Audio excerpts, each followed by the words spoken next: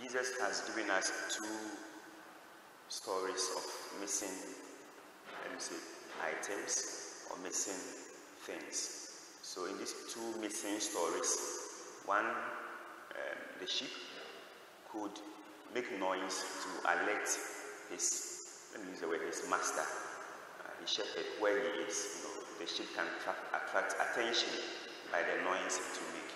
The other one, the coin, has no voice, so it, whether it fell, it will depend on providence because it cannot make any noise to attract the owner to find it. The beauty about these two stories is that Jesus, the good shepherd, the one for whom we are here this morning, will still come after those who have voices and those who have no voices.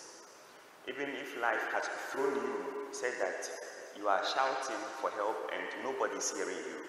You can't even make that noise. You know, whatever it is has sunk you that deep that you can't make any noise on your own and you feel helpless. Like the lost coin, the master will still come and find you. If life has pushed you to other side where you are trying to say, Help me, save me, Lord, and you have that voice to shout for that help, Jesus is saying that He's coming for you. So wherever you are, it doesn't matter. Your location doesn't matter. But this is the beauty you have in these two missing stories. But he made a very good comment.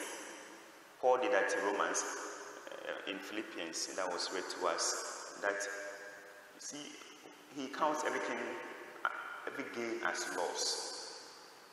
These days, excuse my example, if, if you have so much of our, our own currency, and you happen to convert it to some other higher currency, your gain in the cedi becomes a loss in the higher currency.